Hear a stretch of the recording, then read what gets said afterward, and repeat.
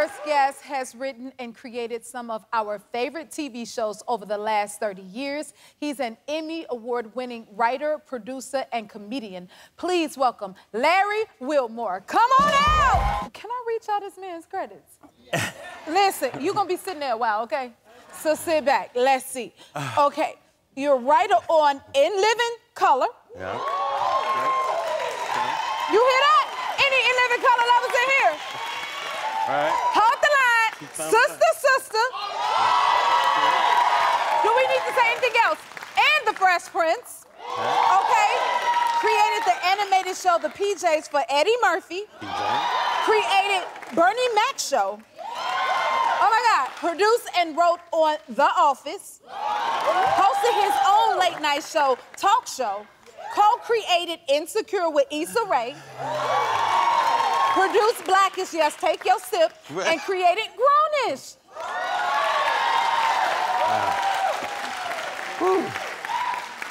I can't take no more. I can't take no more. What haven't you done? Uh, you know what? You are so nice, and I appreciate that. But let me just throw it back in you because I am so excited to be here, Jennifer. I, I have been. This is what it is. No, you're so kind to say that, but you are crushing it out there. I mean, Thank you. I've been a fan of hers since American Idol. I was rooting for you. Wow. Oh yeah. Thank you. Oh, I Thank was you. watching. Oh yeah. I was like, right. I was so mad when I saw that. But you're like a movie star, you know, singer. You're a brand ambassador. You're a talk show host. You're an icon now. You oh have Oh my to know that. You are. You're an icon. I do not take that lightly It's true. coming from you because Yeah. you've opened up the doors for so many black creators. Like, is that something that you set out Yeah. to do? I really did. Um, thanks, guys. No, I appreciate it. That's iconic, right?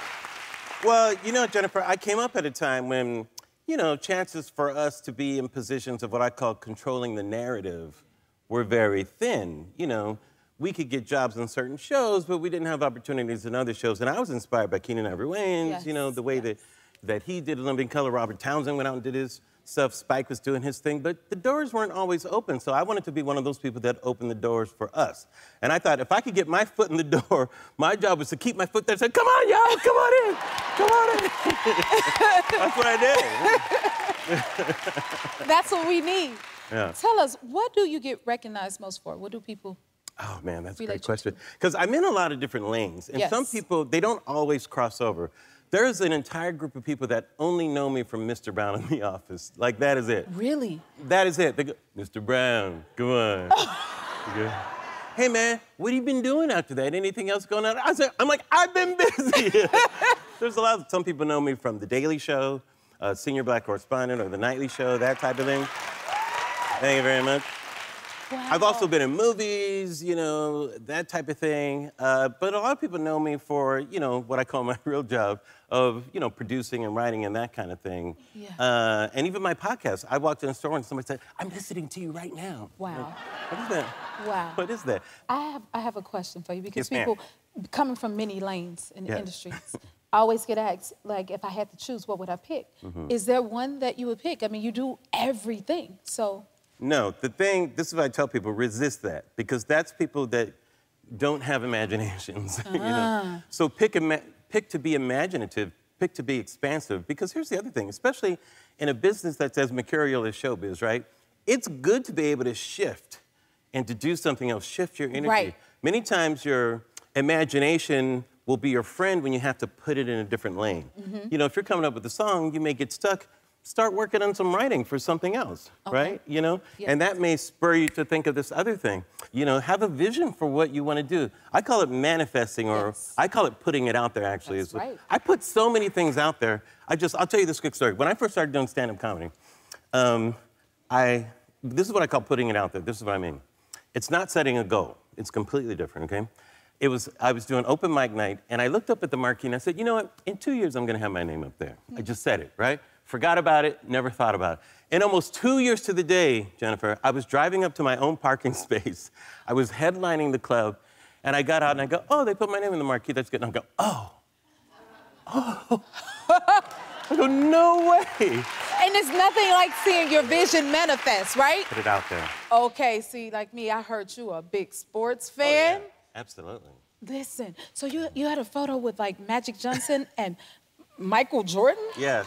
Oh my God, look at that. That Y'all see hilarious. this? And then you can see the expression on my face is one of these things is not like the other. that was for uh, I did I wrote a show called the Jim Thorpe Pro Sports Awards. That was before the ESPYS, and uh, we were giving we were having Magic give award to Michael Jordan in Portland. This is the only this is one of the few pictures you could get of Magic and Michael in their Olympic uniforms. Oh, my actually. goodness. So it's very rare. Yeah. So Yeah. when did you first meet Magic? Well, I went. I played sports growing up, and uh, I went to. Uh, oh, that's a great picture of Andrew. Um, my friend who um, I went to school with, his name is Bill Duffy. He's a big sports agent now. But Billy went to my high school, and he was in the same year as Magic, and he played in all the uh, games with Magic when they were in high school. And he came to us. He said, "Hey guys, there's this guy. He's six foot ten. He's a point guard." We're like, "What?" we're like, "No way!" It's like he throws uh, length of the court behind the back passes. We're like, "No way!" He said, "His name is Magic." We're like, "No, who is this guy?" And so I followed Magic before anybody really knew who he was in college and all that stuff. And, and right before he became a Laker, I was at a barber shop with my dad. And um, Magic came in. This is before his first game as a Laker. You know, and he was still Earvin, you know, then. Really cool, sat down. So I went and sat next to him. I was so excited, but I just played it cool. We talked for about 45 minutes. It was so cool, Jennifer. I'll never forget that.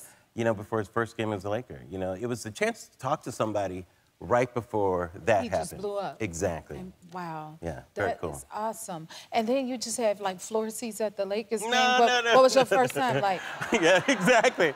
Look how excited I am. I've never had floor seats like right behind the, uh, I think it was behind the basket. I, I was on a podcast with Jeanie Buss, and I was uh, trying, trying not to, I was trying to contain myself from asking for tickets.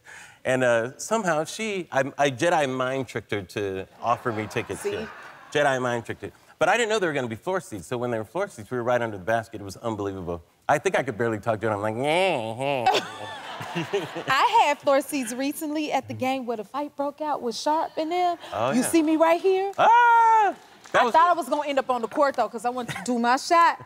But all I can hear is my son voice in my head, like, Mommy, don't talk to the players. Just sit and watch the game, which is a lot of fun.